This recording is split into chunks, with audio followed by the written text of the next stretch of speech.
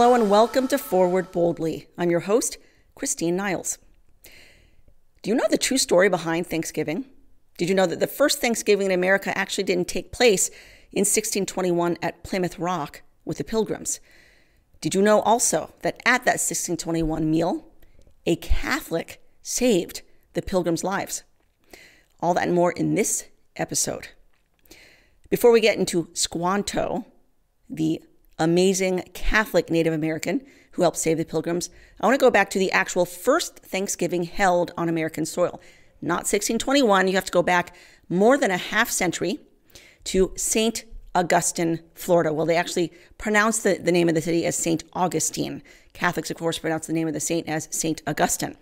That's in Florida. It is actually the first permanently settled European colony on American soil. And it is the oldest settlement in the United States. It was founded in 1565 by Spanish Catholic explorers led by Pedro Menendez de Aviles. On first sighting land on August 28th, which was the feast of St. Augustine, they named the city after him. On September 8th is when they first touched ground. September 8th is the feast of the Nativity of Mary, the birthday of Our Lady.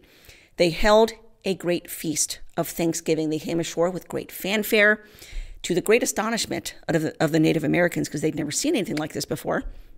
They held a mass of Thanksgiving, the holy sacrifice of the Mass of Thanksgiving.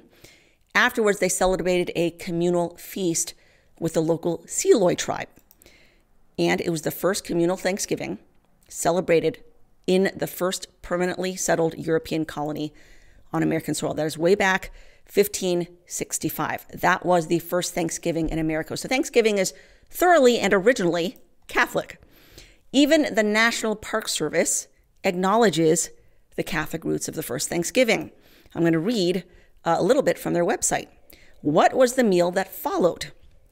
From our knowledge of what the Spaniards had on board their five ships, we can surmise that it was cocido, a stew made from salted pork and garbanzo beans, laced with garlic seasoning, and accompanied by hard sea biscuits and red wine. If the Seloy contributed to the meal from their own food stores, then the menu could have included turkey, venison, gopher, tortoise, mullet, drum, sea catfish, maize, meaning corn, beans, and squash. The website continues This was the first community act of religion and Thanksgiving in the first permanent European settlement in North America. It took place just 300 yards north of the Castillo de San Marcos, the castle, at what is now the Mission of Nombre de Dios. This event is commemorated today by a 250 foot cross which stands on the original landing site. I've been to St. Augustine. It's a very beautiful little town, quaint little town worth going to, uh, but deep historic Catholic roots, the very first Thanksgiving. Now, other people, if you move over to the Southwest, Texas, you will have Texans say that there's another Thanksgiving celebrated in America. They call it Texas Thanksgiving Day, and that was in 1598, April 30th, 1598 to be exact, and that again was Catholic. What happened was the Spanish explorers, this time led by Don Juan de Oñate from Mexico, they were in Mexico from Spain, they traveled up to the American Southwest, to what is now known as New Mexico. They set up camp there, they held a Mass of Thanksgiving, and they named the land New Mexico in honor of God and their Catholic king, Philip II. A large feast was held with the natives. Uh, the Franciscan priests blessed the food before everyone ate their fill, and at the end of the meal, the group put on a play, which was written by Captain Farfan, with scenes reenacting the conversion of the Native Americans to the Catholic faith upon first hearing it. I'm going to read from the Texas Almanac on this Catholic Thanksgiving uh, about what happened before this time. By early March 1598, Oñate's expedition of 500 people, including soldiers, colonists, wives, and children, and 7,000 head of livestock, was ready to cross the treacherous Chihuahuan Desert. Almost from the beginning of the 50 day march, nature challenged the Spaniards. First, seven consecutive days of rain made travel miserable. Then the hardship was reversed, and the travelers suffered greatly from dry weather. On one occasion, a chance rain shower saved the parched colonists. Finally, for the last five days of the march before reaching the Rio Grande, the expedition ran out of both food and water, forcing the men, women, and children to seek roots and other scarce desert vegetation to eat.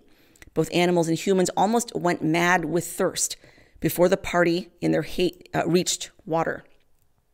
Two horses drank until their stomachs burst, and two others drowned in the river in their haste to consume as much water as possible. The Rio Grande was the salvation of the expedition. expedition. After recuperating it for 10 days, Oñate ordered a day of thanksgiving for the survival of the expedition. Included in the event was said was a feast supplied with game by the Spaniards and with fish by the natives of the region. A mass was said by the Franciscan missionaries traveling with the expedition. And finally, Oñate read La Toma, the taking, declaring the land drained by the Great River to be the possession of King Philip II of Spain. And this is what one member of the expedition wrote, quote, We built a great bonfire and roasted the meat and fish, and then all sat down to a repast the like of which we had never enjoyed before.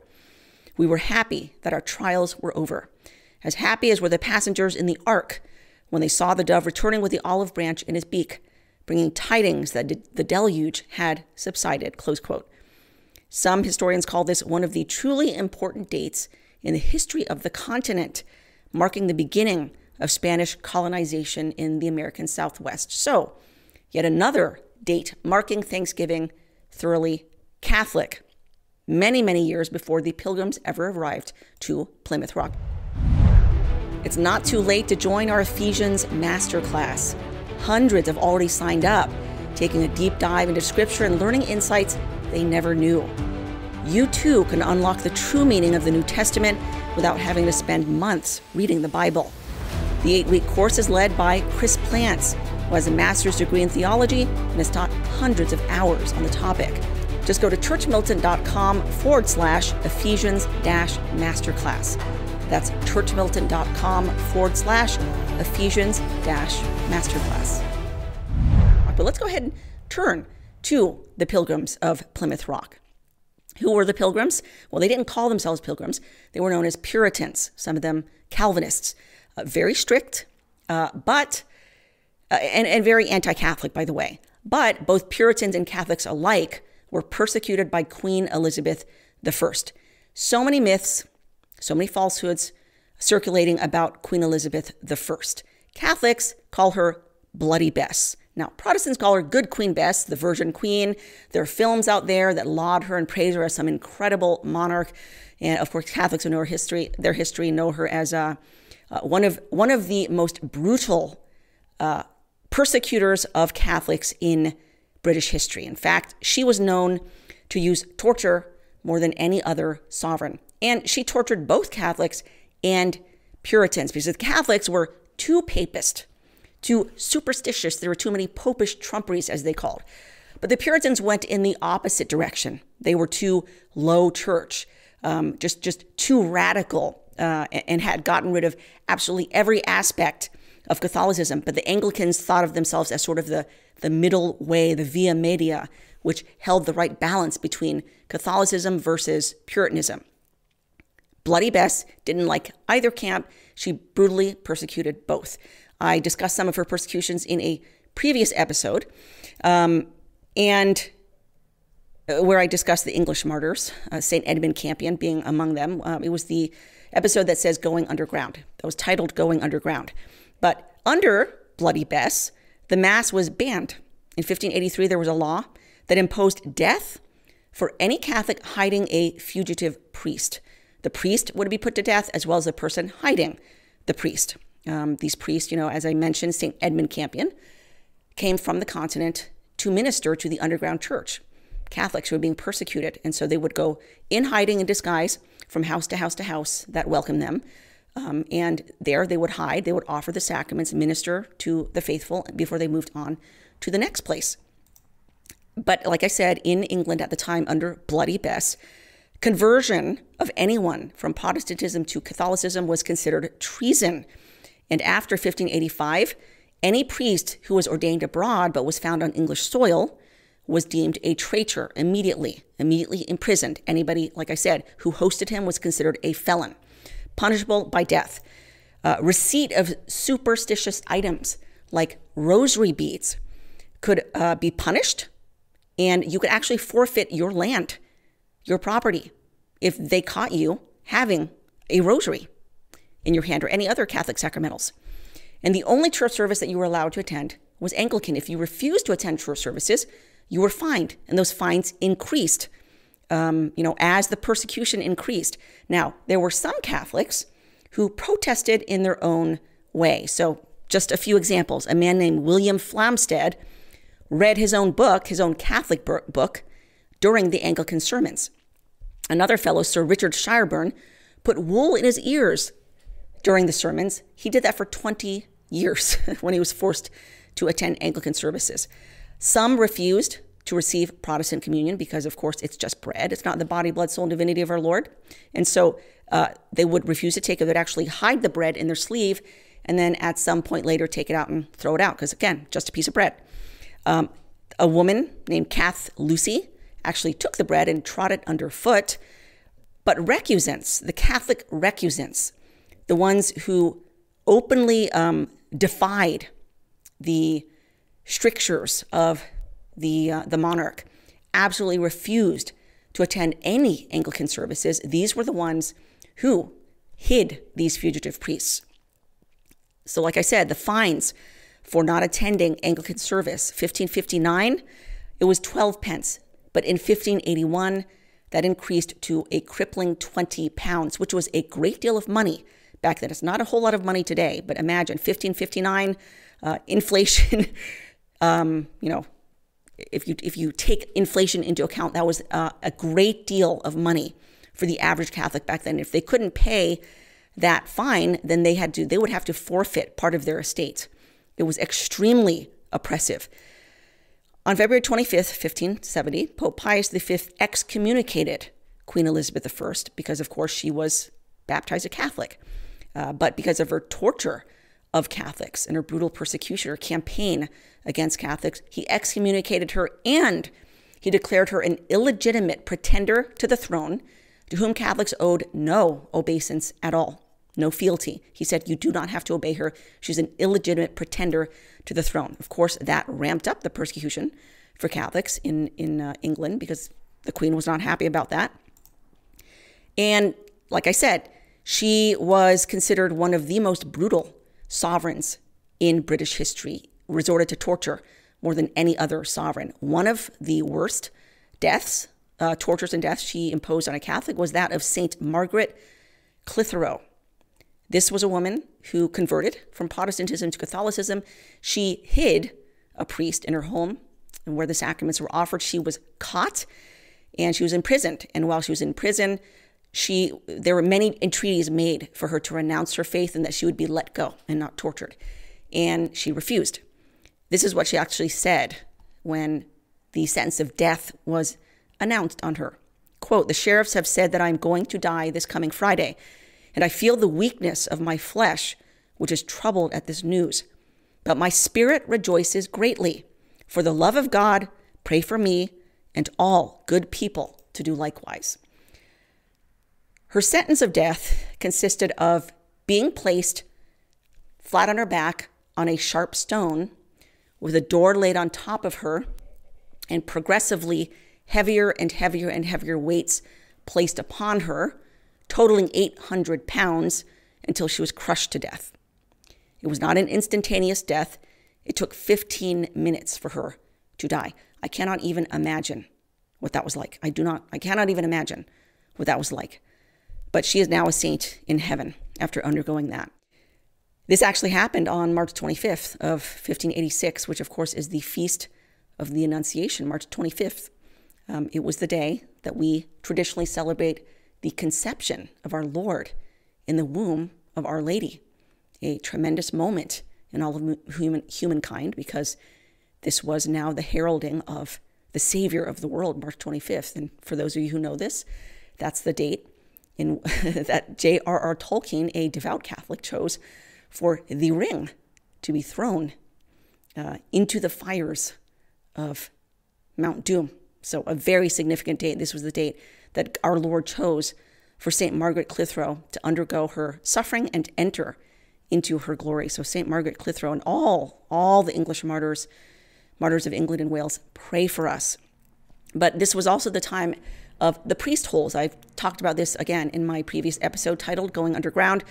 Uh, this is where ingenious contraptions and hiding spaces were built um, all throughout various manses in England. For instance, Harvington Hall has multiple priest holes where priests would be taken in and they would be hidden in various places where it was extremely difficult, if not impossible, for the officials, you know, of the government to find them. Uh, so many a priest hid in these ingenious priest holes. Many of these priest holes were built by Sir Nicholas Owen, a Jesuit brother who was eventually caught and tortured to death and never once under torture gave away the names of any of the priests or any of the individuals who um, housed any of these priests. As I mentioned in my previous episode, St. Edmund Campion was hanged, drawn, and quartered, one of the greatest scholars at the time um, in England. Uh, total of 130 priests uh, executed under Bloody Bess, along with 60 lay supporters tortured and executed. So, returning to the Pilgrims. It was under this campaign of brutal persecution of both Catholics and Puritans that a number of Puritans fled England and they took refuge in Holland. There they spent some time before they decided to come to the New World. So a group of them came to came from Holland. They met another group in Southampton, and about 100 total boarded the Mayflower on September 16th of 1620. 65 days later, they would sight Cape Cod, eventually anchoring at Plymouth Rock. Thus was born the first colonial settlement in New England. But they were not the first to be there. It was actually Catholic Jesuit missionaries who had come some years before, going up and down the coast of New England to evangelize and spread the faith. So again, Catholics were there first. The communal meal that we now know and celebrate as Thanksgiving took place in 1621 with about 90 Native Americans and, of course, the uh, pilgrims in that colony, and it lasted a total of three days. Now, we turn to the man who saved the pilgrims, an unlikely hero, Catholic, Squanto. We've all heard of Squanto. Uh, Squanto was, of course, the individual. How did he save them exactly? Well, he taught them how to plant corn and he taught them how to fertilize the corn with fish. That first winter in the colony was extremely hard on the pilgrims. About half of them died through the very difficult winter, starvation, disease, various other things. And so when Squanto came to them the very next year, it was a godsend. It was like a miracle because half of them, like I said, had perished. And here was this man who came to show them how to survive. And because of his help, they did survive and they flourished. But what was his background? Because here they were absolutely astonished to see a Native American coming to them speaking almost perfect English. How was that possible? Well, let's take a look at Squanto's background. He was, of course, there, born in America. He was captured by a man named Thomas Hunt. Thomas Hunt was the lieutenant of the famous Captain John Smith. Probably heard, probably heard of that name. Captain John Smith fell in love with Pocahontas. Anyway, his lieutenant, Thomas Hunt, captured Squanto along with a number of, of other natives and kept them as slaves on his ship and they sailed back to Spain, hoping to sell them as slaves. At that time, uh, approximately two to five million Native Americans were captured and sold as slaves during the colonial area, era. So, for six weeks on this ship, Squanto was shackled in chains in the darkness and the filth of the ship's hold. Rocking in the waves, battered by the storms, he endured hunger, thirst, vomited from seasickness. He was violently ill the entire time. And he was forced to leave everything that he once knew for who knows what future. Of course, slavery. That's what he was looking forward to. And um, I can't even imagine what that must have been like for him if you just put yourself in the shoes of someone who's just been captured and now you're being held in this, what seems like a dungeon in chains, sitting in your, own vomit and filth, leaving everything behind that you knew going towards this unknown and very dark future. Um, and it was then that he really started to think about God. It's then he started to realize there, there's a higher power here, he's in control. And once they landed in Spain on Malaga, his captor tried to sell him in the open market.